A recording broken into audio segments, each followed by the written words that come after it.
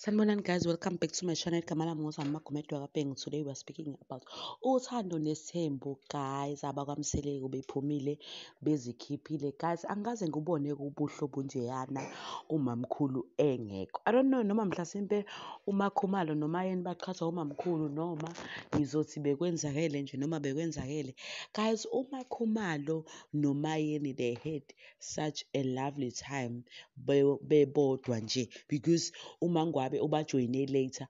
Kodwa bebodwa nje they were very nice to each other begade ney'ngane kumnandi they were talking to each other kamunandi. Angibazi-ke noma baqhathwa umamkhulu because ubamkhulu decided not to go with them wayisalela emzini wakhe because wayishilo vele ukuthi yena akasathandi ukuhamba ama-family trip because makuhanjwa ama-family trip wonke umuntu usuke ebanga ebanga i-attention kaMthombeni. I don't know ukuthi yini indaba-ke because whatever acabanga ukuthi iyenzeka shuthi yena ubona iyenzeka. Kodwa-ke guys we-decide ukusala so iy'ngane behambe zodwa-ke nawomama laba abathathu nomama ababili wase bajoyina lethiwe uNombela guys kodwa-ke asikhulumeni indaba kaNombela. Nombela Nombela. Awu kodwa awuyiphathe kahle ntombazane. Umncisha kanjani guys? Ubaba wey'ngane zakho noma umkhwenyana wakho? Umncisha kanjani guys? Ihlofihlofu umkhwenyana wakho? Ufundisa ukuthi kuhanjiwe nje kumnandi umoya umnandi kodwa wena uncisha ubaba wey'ngane zakho inhlofihlofu kanjani nje? Kanjani umoya uvele u-romantic u-romantic umoya? Sikhishiwe kumnandi siyabhukuda.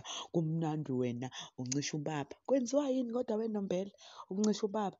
But-ke guys i think ukuthi nje unombela uyamdinga umuntu ozomkhulisa nomuntu ozomfundisa indlela yokukhuluma nomyeni wakhe nendlela yokwenza nomyeni wakhe. Awukwazi guys ukuthi sekuphunywa i-trip kuyima usathi wena usakhala ukuthi ingane ibizosala nobani. Ingane ibizosala silele sonke la khona le ngane lena bakhona osisi bayo la khona ompilo khona osine khona omama babaya abanye. Wena hamba uye endlini kaMthombeni niyojabula. The way bekuhlekwa ngakhona guys the way obekuhlekwa ngakhona obekumnandi ngakhona i think ukuthi even nje i-relationship ka kaMayeni noMakhumalo ngathi uNkulunkulu engayisiza nje ibe mnandi njengoba imnandi. Because i think ukuthi more than anything uMthombeni ujabule mayeni noMayeni. uMthombeni ujabule mayeni Makhumalo ngendlela nje akuvele kukhulunywe ngayo kamnandi kuhlekwe kube yonke into. Ayikho nje impi ayikho impi nje yokuthi kuyaliwa njalo abalwi uma bendawonye. I think ukuthi bekumnandi ngendlela okwenzeke ngayo and angazi noma mhlasimpe uyena ngampela umacele oqhatha these two wives.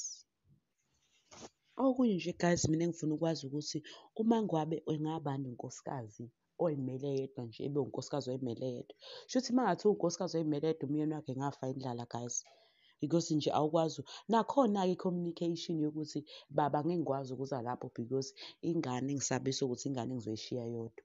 Why kuvele kube unyanje kube unyanje kube unyanje kube unya ungayikhulumi into ekufanele uyikhulume I think that was very rude of uMangwabe guys. Noma nje phela bese kuhlekwa kodwa ungabona ukuthi uMthombeni was very hurt ngale nto eyenziwe uMangwabe. And futhi noma ngabe bekuhlekwa kodwa indlela ade esekhuluma ngayo uMthombeni ithi vele indlela angi-treat-a ngayo vele even ekhaya indlela angi-treat-a ngayo.